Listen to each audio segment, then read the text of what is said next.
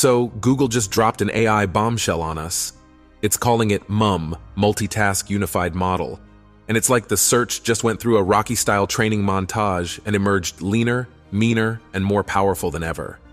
This isn't just your regular update. It's a whole new take on how we interact with information online. Let's start with the technical stuff. MUM is built on a transformer-based architecture. Remember, transformers here are more about fancy algorithms than cars that turn into robots. This architecture enables MUM to handle various types of data, from text to images and more. It's a jack of all trades, master of, well, all, apparently. And what's the fuss about this? Well, imagine being able to ask Google to show you pictures of a specific place at a particular time of day or season. Want to see how the Eiffel Tower looks in the spring at sunset? No problem. Need to compare two hiking trails visually? Easy peasy. So, let's take a moment to think about the tourism industry, right? I mean, who doesn't enjoy a good vacation? And it's precisely here where Google's MUM could become a game changer. Imagine you're planning a trip to, let's say, Italy. You've got your heart set on sipping the finest wine under the Tuscan sun, but you also want to hike the dramatic cliffs of Cinque Terre. Now, the catch is you've never been to Italy, let alone Tuscany, and your hiking experience is, well, a bit underwhelming to say the least. MUM steps in here like your personal travel advisor, who also happens to be a hiking expert.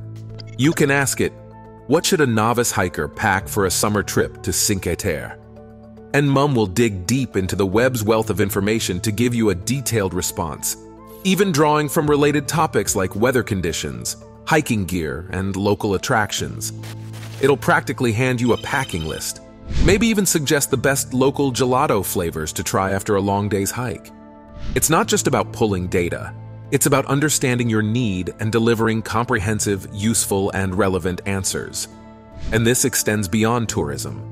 Academia, for instance, could benefit immensely. Imagine a researcher gathering data for a multidisciplinary study or a student working on a cross-cultural comparative essay. MUM could streamline their research process, provide nuanced insights, and potentially open up new avenues of exploration. So, in essence, MUM isn't just a tool. It's a facilitator, a guide, and, dare I say, a bit of a revolution in information retrieval. Now, let's chat about this little gem that Google unveiled for our dear developers, the Studio Bot. Picture this. You're knee-deep in code, it's late, and you've got this annoying bug that just won't quit. That's where our new buddy steps in. StudioBot is this nifty AI-powered coding assistant that's ready to help when the going gets tough. She's kind of like a super smart friend who's always available to lend a hand, but she doesn't need any pizza as payment. Google built this clever girl on Codey, their new foundational coding model, and she's a bit of a prodigy, understanding both Kotlin and Java.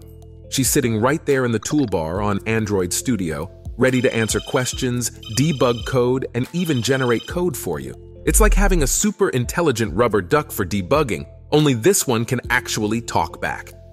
Now, Google assures us that we don't need to share our source code with them to use StudioBot, which is a relief, but they will receive data from the conversations we have with her. It's early days for our friend StudioBot, and right now, she's only hanging out with developers in the US. But with this handy tool, Google is changing the game for Android app development. Google's AI ventures aren't limited to search and chatbots. They're also infusing AI into Android phones in a big way. It's like Android is getting a massive AI booster shot, and it's changing everything from wallpapers to text messaging. Here's the scoop. Google is introducing a new suite of generative wallpapers for Android. These aren't just any wallpapers, mind you. They're AI-generated wallpapers that change and breathe, as if they've got a life of their own. It's a neat party trick and it gives your phone a unique, personalized touch. However, don't get too excited just yet. These wallpapers will be exclusive to Google's own Pixel phones at first, so if you've got a different brand, you might just have to wait your turn. But it's not just about wallpapers. Android's messaging system is getting an AI facelift too. This summer, Google's Messages app will receive a Magic Compose feature, which uses generative AI to suggest responses based on the context of your messages. It's like having a well-read, articulate friend whispering suggestions to you during a conversation. Magic Compose can even change the tone of your message if you prompt it to. You can go from formal to poetic to Shakespearean at the flick of a switch. Now, who wouldn't want that? Talking about androids, they can be a bit of a drain on our batteries and our patience at times.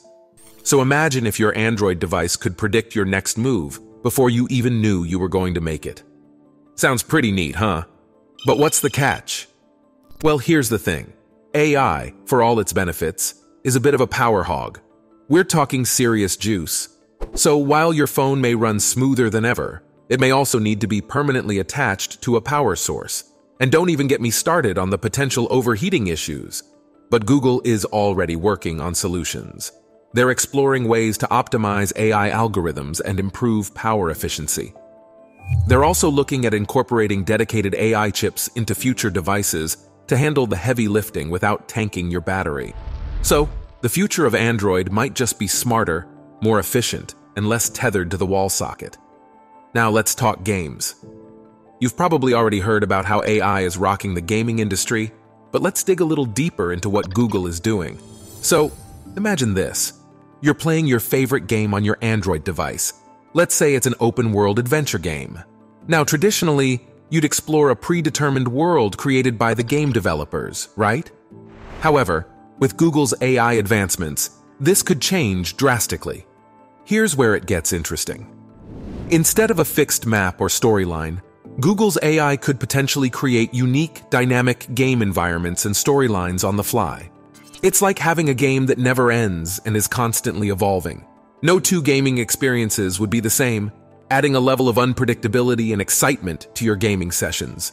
I mean, who wouldn't want to play a game that adapts to your playing style, right? You could be slaying dragons one minute and the next, you could be exploring uncharted alien planets, all within the same game. Sure, there are caveats, of course. We've got to consider the implications on game balance, data privacy, and even the size of the game files. But if anyone can pull this off, it's probably Google. Now, here's a juicy tidbit that's too good to pass up. Ever hear about the Code Red situation at Google? No, it wasn't about a rogue coffee machine in the break room or a misplaced Android prototype, but something a little more, let's say, existential. It all kicked off when OpenAI rolled out ChatGPT, and even though it wasn't perfect, boy, did it turn heads. So much so that it reportedly triggered a code red over at Google, yeah, Google, the tech behemoth, was shaken up by a project from the underdog OpenAI. This little incident tells us something quite profound about the state of affairs in the AI world. It's cutthroat, it's relentless, and it waits for no one, not even Google. It's like the Wild West out there with everyone racing to stake their claim on the next big AI breakthrough. And it's not just about bragging rights or having the smartest AI on the block. It's about shaping the future of technology, industry, and society. Talk about high stakes, huh? So, what did our friends at Google do in response to this code red? They doubled down, channeling more resources into their AI projects. Because in this game, you either innovate or you're left in the dust. And Google, as we've seen, is not keen on eating anyone's dust. So now Google is going full steam ahead with AI, infusing it into everything from search to Android. But while these advancements are exciting, they're still in the early stages. The AI journey is a marathon, not a sprint, and we've still got a long way to go. So, should we be excited or skeptical? Probably a bit of both. Feel free to share your thoughts, questions, and witty sarcasm in the comments below. And hey, if you had a good time watching this video, go ahead and give it a thumbs up, and maybe even consider subscribing to our channel. Alright, thanks for sticking around, and until next time, keep your eyes on the horizon and your mind open to the possibilities that the future holds.